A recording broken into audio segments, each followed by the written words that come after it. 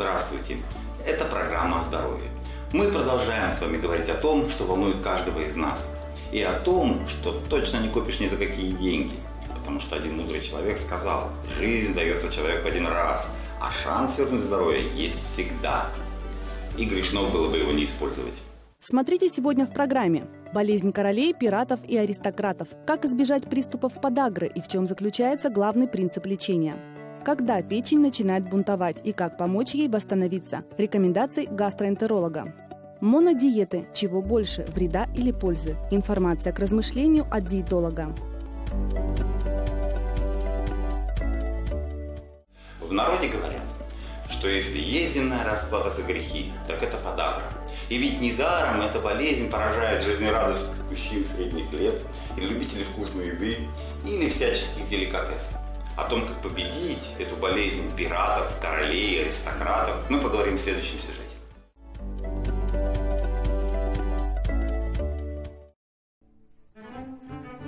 Эта болезнь известна еще со времен Гиппократа. С греческого языка переводится как «капкан для ног». Именно с этой невыносимой болью можно сравнить острый приступ подагры, когда внезапно опухший и покрасневший сустав ступни начинает ломить так, что на ногу не только не наступить, до нее даже не дотронуться. Подагру часто называют болезнью королей и пиратов, а все потому, что ее частые спутники – праздность, пристрастие к алкоголю, мясной и жирной пищи. Но не только болезнь королей, я сейчас думала, почему такое название идет, сказали, или болезнь гениев. Значит, ну, поскольку, поскольку подагра известна еще со времен Гиппократа, и ее название это переводится как кан для ноги, потому что проявляется она быстро развивающимся припухлостью сустава, который, в общем-то, пациент лег вечером спать нормально, утром уже не может встать, даже простыня, прикосновение простыни вызывает боль, практически он обездвижен. Значит, связано это с повышенным выбросом, э, накоплением мочевой кислоты в сыворотке крови. Значит, ну, поскольку, поскольку ей болели в древности, то эти больные, они не могли принимать участие в охоте, вот во всех этих турнирах. И что они делали? Сидели? Они там читали или писали. И вот поэтому считается, что многие великие люди, которые вот там писатели, болели вот этим заболеванием. Подагра может поражать любые суставы, но чаще всего суставы пальцев ног. Для постановки диагноза достаточно простого осмотра ревматолога и анализа крови из вены. Повышение в крови уровня мочевой кислоты и ее солей, так называемых уратов, веское основание для того, чтобы поставить диагноз подагра. Именно отложение уратов в суставах провоцирует болезнь. Острые, как иглы кристаллы, солей мочевой кислоты изнутри колют ткани и вызывают в них воспаление. В принципе, в основе этой подагры в первую очередь нарушение обмена вот этих куриных оснований. Поэтому соблюдение диеты определенной, которая существует для пациентов с подагрой, назначение препаратов, которые снижают выработку повышенного уровня мочевой кислоты, приводит практически к нормализации э, состояния пациента. К сожалению, от подагры вылечиться полностью нельзя. Но недуг можно держать в узде, не допуская новых обострений. Главный принцип лечения – контроль над образованием мочевой кислоты. Если уровень мочевой кислоты в крови, допустим, сейчас считается 400-450, в зависимости от пола, то есть международная рекомендация, что если с помощью диеты и вот этих препаратов опустить этот уровень до 360 миллимолей на литр, то на этом фоне никогда не разовьется приступ подагрического артрита.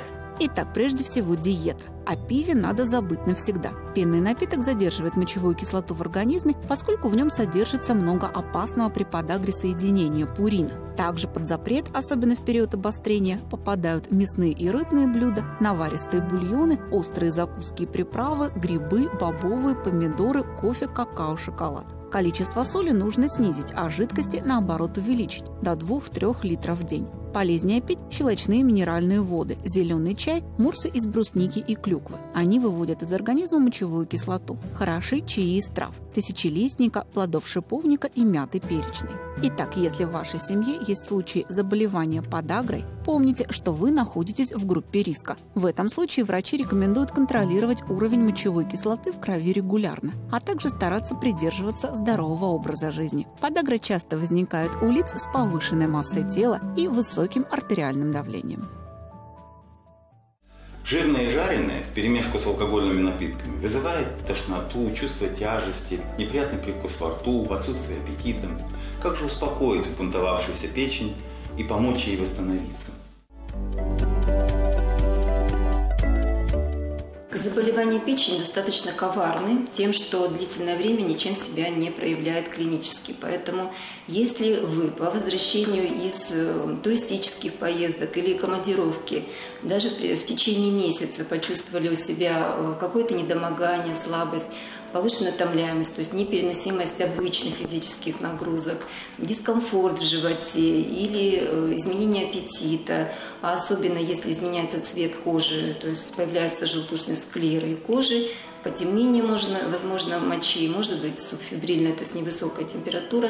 В этих случаях, конечно, надо обязательно обратиться к терапевту, гастроэнтерологу, инфекционисту для того, чтобы было вам подобрано ну, грамотное обследование и назначено корректное, грамотное лечение. Для начала, конечно, э, делаются обычные скрининговые анализы, то есть это э, кровь из пальца, это кровь из вены на э, определение функции печени и, конечно, обязательно пациент пациент, учитывая эпитонамнез, то есть если он выезжал э, в какие-то а, страны другие, обязательно необходима консультация инфекциониста. Актуально э, также э, заболевание печени в настоящее время, учитывая нашу гиподинамию и разнообразие пищи, всякой вкусной и разной, конечно, встает вопрос о серьезной проблеме нашего века – это жировая дистрофия печени. Конечно, основным ну, наиболее, наверное, значимым моментом является правильное питание, то есть преобладание в пище все-таки молочно-растительной э, клетчатки. Острые хронические заболевания печени – это достаточно серьезная проблема нашего времени. А особенно это относится к вирусным, э, к вирусным поражениям печени и к поражениям печени э, токсического характера, то есть под действием алкоголя. Поэтому Э, актуальность проблемы высока достаточно в летний период, так как э, возрастает угроза э, заражением таким заболеванием, как вирусный гепатит А. Для тех людей, которые планируют провести отпуск где-то в других странах, рекомендовано, конечно, обращать внимание на э, пищевые продукты и напитки, которые вы приобретаете и используете в пищу. То есть прежде всего это должно быть, э, все-таки эти продукты должны приобретаться в специальных магазинах, а не на улицах. А, и э, в специально упаков... упакованной таре, то есть проверять обязательно герметичность упаковки. И если это алкогольные какие-то напитки, то, конечно, товар должен быть сертифицирован. Пить рекомендуется все-таки кипяченую воду. Можно сформировать аптечку, которую человек может взять с собой в путешествие. Прежде всего там должны быть, конечно, препараты, которые ему показаны, учитывая его фоновую патологию. Это препараты сорбенты. А, это препараты ферментативные. И э, для подбора, конечно, индивидуальной аптечки можно проконсультироваться с лечащим врачом, который вам подскажет определенный список препаратов, которые вы можете взять с собой в дорогу. Смотрите далее в программе. Все проблемы в голове. Как помочь человеку избавиться от алкогольной зависимости. Как пережить жаркие дни, сохранив здоровье и силы. Правила безопасности от специалистов и взрослым о детях, почему ребенок плохо ест, заставлять или не обращать внимания. Советы доктора Степанова.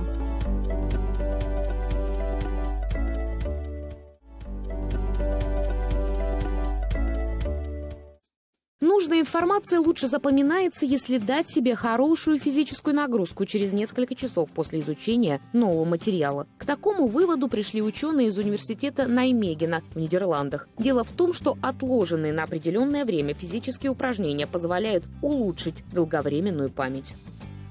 Употребляя в пищу ячмень и продукты, которые его содержат, понижается на 7% уровень двух типов плохого холестерина, доказали канадские медики из больницы Святого Михаила в Торонто. Известно, что высокий уровень холестерина является одним из основных факторов риска развития сердечно-сосудистых заболеваний. Ученые рекомендовали более активно включать в рацион ячмень и продукты на его базе, например, крупу или хлопья. Английские ученые пришли к выводу, что малина содержит множество питательных веществ, способных защитить не только от смертельно опасных сердечно-сосудистых заболеваний, диабета и недугов печени, но и от болезни Альцгеймера. Ягоды малины обладают противовоспалительными и антиоксидантными свойствами, а также позитивно влияют на метаболизм. Это, в свою очередь, сокращает риск болезни Альцгеймера и даже замедляет процесс старения. Алкоголизм и наркомания – два бича современного общества. Их уже нельзя назвать вредными привычками. Это болезни, которые требуют помощи. Те, кто уже оценил масштаб бедствия, всеми путями пытаются избавиться от опасной зависимости. Специалисты же давно пришли к мнению, что все проблемы у человека в голове.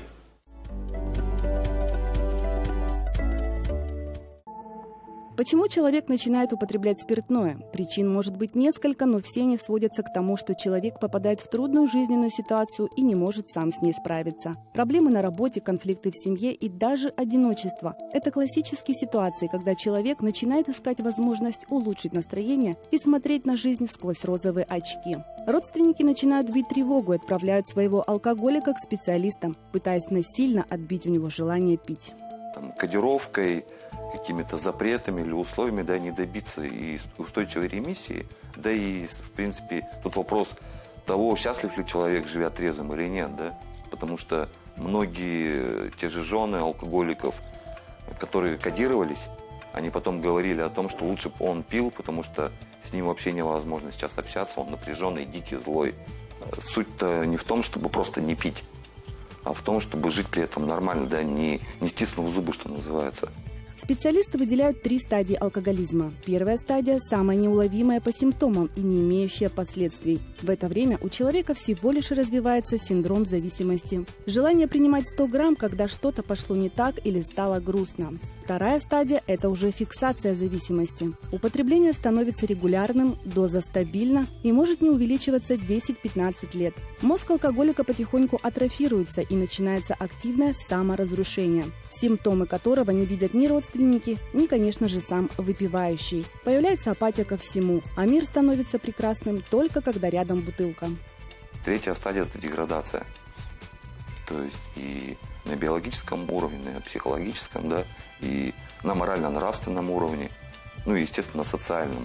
То есть на этой стадии уже могут и, может, и семья от него отказаться, да, ну и либо там сосуществовать каким-то образом просто из жалости выкарабкаться сложно.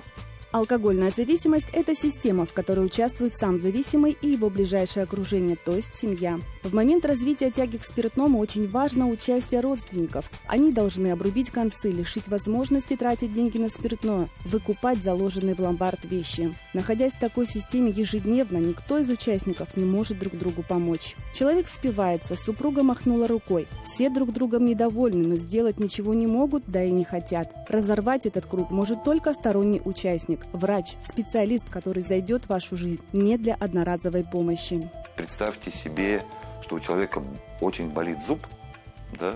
он уже испробовал все средства там, обезболивающие, они не помогают. В конце концов он идет и сдается врачу. И врач решает эту проблему, стоматолог. Да? Тут мотивация не здоровые зубы, тут мотивация избавиться от боли. Вот в случае с зависимым поведением, в случае с алкоголизмом все то же самое – Человек обращается за помощью, пока он сам не захочет, эта фраза, да, не потому, что он, так сказать, видит какое-то светлое будущее, он просто настоящее стало для него невыносимым. Если ваш родственник или близкий друг вступил на путь алкозависимости, вы не сможете ему помочь таблеткой или капельницей. Да, вы почистите его организм, но почему он не должен завтра тянуться к рюмке, вы ему не объясните. Мечта любого алкоголика контролировать употребление и дозу, но это невозможно из-за того, что биохимия изменена и прежней уже не станет. Поэтому после чистки организма алкоголику необходима профессиональная помощь. Реабилитационный центр, в котором работают клинические психологи, наркологи и консультанты по химической зависимости, которые проводят курс из нескольких этапов, самый главный из которых первый, где закладывается мотивация на жизнь без спиртного. Вот это такой первый этап, он достаточно болезненный, вот, но после него, так сказать, человек эм, расчищая да, тем самым фундамент, начинает выстраивать что-то новое. То есть уже мы ему помогаем приобрести навыки, что называется, трезвой жизни, трезвой и счастливой жизни. В последнее время стало модным увлекаться монодиетами. Врачи уже окрестили такое питание стрессовым. Стройную фигуру вы, конечно, приобретете, но демонстрировать ее придется только доктору. Попробуем разобраться, чего лишается организм, если соблюдать такие диеты.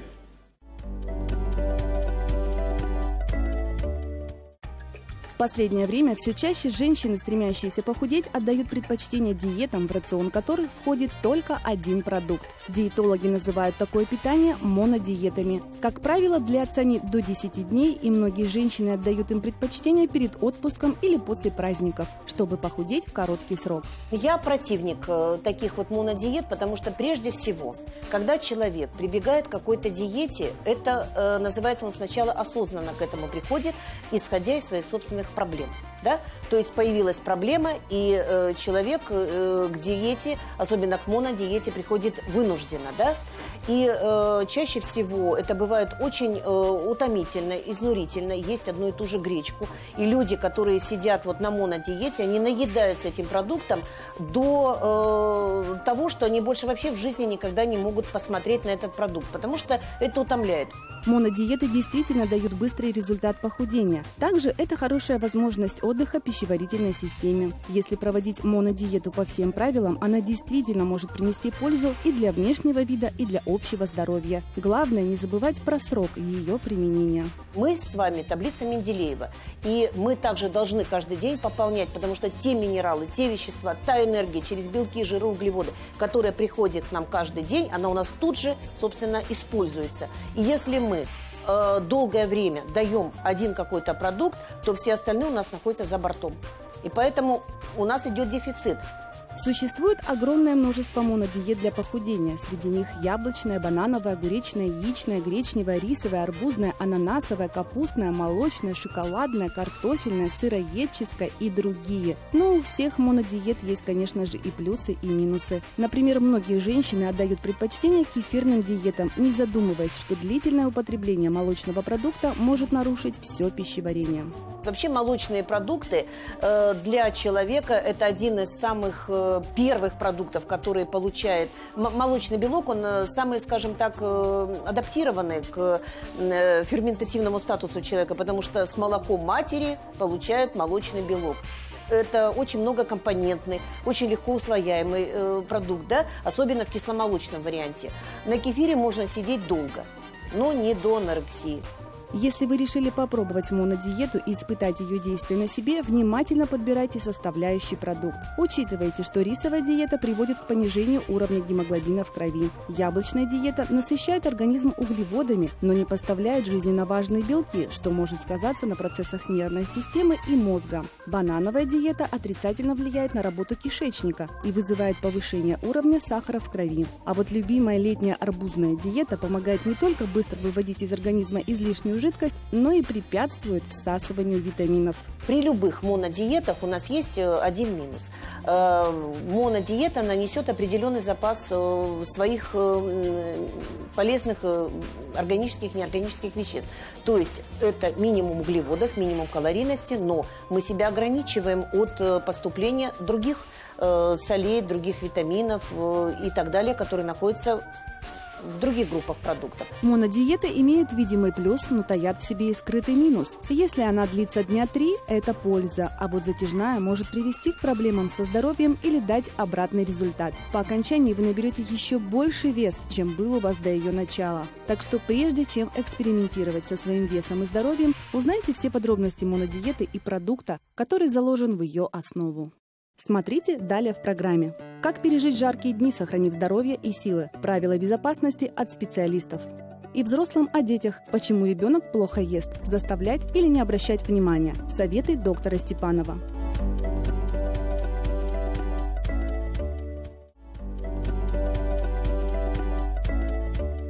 Жара опасна для здоровья. Тепловые удары, обострение сердечно-сосудистых заболеваний, снижение иммунитета, простуды, даже ангины – все это из-за жары.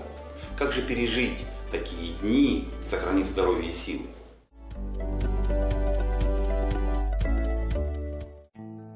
Первую очередь с наступлением жары должны быть очень осторожны люди с сердечно-сосудистыми заболеваниями. Если у вас гипертоническая, ишемическая болезнь сердца, сахарный диабет, онкологические заболевания, вы перенесли инфаркт или инсульт, ни в коем случае не работайте ни в душном доме, ни на даче. Вообще физическая активность в такую погоду вам противопоказана. Возрастает нагрузка на сердце, артериальное давление начинает прыгать. Если у вас стенокардия, положите в карман таблетку нитроглицерина. Гипертоникам нужно обсудить с врачом питьевой режим. За счет выпитой жидкости увеличивается объем циркулирующей крови, что ведет к повышению давления. Сколько и чего пить именно вам, должен рассчитать специалист. Для кого же еще жара скорее враг, чем друг? Людям с бронхиальной астмой и язвой желудка не следует долго находиться на солнце. Ответной реакцией организма на солнечные ванны может стать острый приступ болезни. Не простят длительного пребывания на жаре и кожные заболевания. Интенсивное солнце может спровоцировать обострение ряда женских проблем. Миома – это доброкачественное образование. А, как правило, это доброкачественное образование. Они могут э, быть симптомные, то есть есть клиника определенная, то есть человека что-то может беспокоить, нарушение цикла, болевые синдромы. Может миома не беспокоить никак. То есть находят чаще всего как находку при очередном а, обследовании на УЗИ. Нужно поберечься женщинам, имеющим это заболевание, от солнечных лучей. Мы не рекомендуем а, непосредственно загар. А, можно, допустим, находиться прикрытыми футболка, шорты, шляпка. Нежелательно в санаториях применять согревающие ванны, грязи, лечение, массаж низа живота и поясничной области. Также солнечные ванны противопоказаны при мастопатии и эндометриозе. Также рекомендуем женщинам поберечься. И если, допустим, едут на юг, то здесь нужно проконсультироваться с доктором. Может быть, сразу имеет смысл провести гормональное лечение. Или на выезд, э, так, чтобы не было срывов, никаких болевых синдромов, нарушения цикла, а, принимать какие-то препараты, чтобы было нормальное состояние, чтобы человек себя чувствовал на отдыхе комфортно. Безусловно, в группу риска входят все люди пожилого возраста. Большинство из них, кстати, увлеченные садоводы. Им врачи настоятельно рекомендуются измерять свой пыл с температурой за окном. И не забывать, что самое лучшее время для работы на даче – до 11 часов утра с перерывами. Дальше только отдых. Особенно это важно для тех, у кого близорукость средней и высокой степени. От работы в наклон поднятия тяжести может произойти кровоизлияние в сетчатку глаза и отслоение самой сетчатки. Ну и, конечно, при любой температуре необходимо быть предельно внимательным за рулем и соблюдать все правила безопасности при работе с техникой. Ведь у травматологов летом объемы работы также увеличиваются. Дорожная травма на первом месте в числе общего травматизма, да? А вторая летом превалируют травмы, связанные с нарушением банальной техники безопасности. При работе с циркулированными пилами, называемыми в народе болгарками, да, очень часто люди получают те или иные повреждения, то есть вследствие которых нам приходится оказывать неотложную, да, первичную хирургическую помощь. В жару труднее сконцентрировать внимание на дороге, а в перегретом салоне машины можно запросто получить тепловой удар. Поэтому нужно заранее приготовить несколько бутылок замороженной водой и положить их в салон перед поездкой. Что делать, если ребенок плохо ест, чтобы ему не приготовить? Ну уж точно не сердиться и не переживать сильно по этому поводу. Бывает, малыш не виноват, нужно просто поискать причину. Я сразу перейду к каким-то конкретным рекомендациям. Что же можно сделать, если ваш ребенок плохо ест? В первую очередь нужно, конечно, правильная выработка пищевого поведения. Выполнение режима дня, режима питания. Очень важно, чтобы приемы пищи носили такой очень конкретный временной характер. Если ребенок ест малыми порциями, его называют малоежкой, в таком случае нужно просто увеличить калорийность блюд и даже давая малую порцию, чтобы он все-таки получал то количество калорий, которое ему положено. Конечно, очень важно не допускать никаких перекусов. Очень часто бабушки, дедушки, мамы говорят о том, что ребенок ничего не ест, но между приемом пищи он все время ест печенье или что-нибудь другое.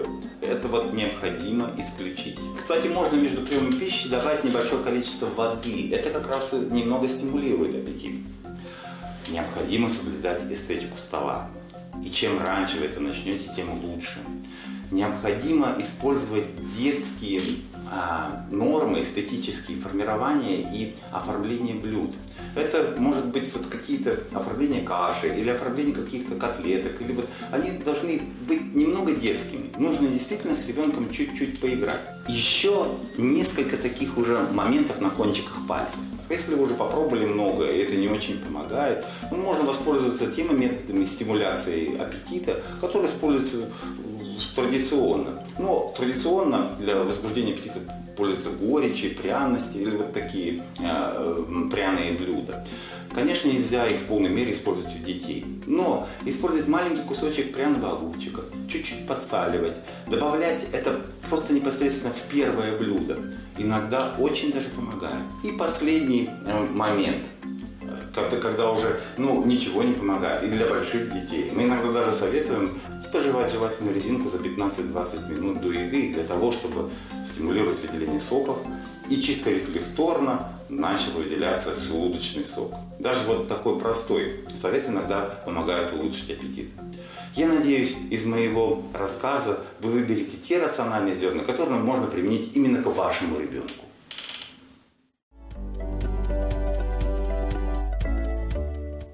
На сегодня это все. Мы встретимся с вами через неделю. Пишите нам письма, задавайте вопросы или темы, которые вас интересуют. Берегите себя и помните, что здоровье человека зависит только от нас самих.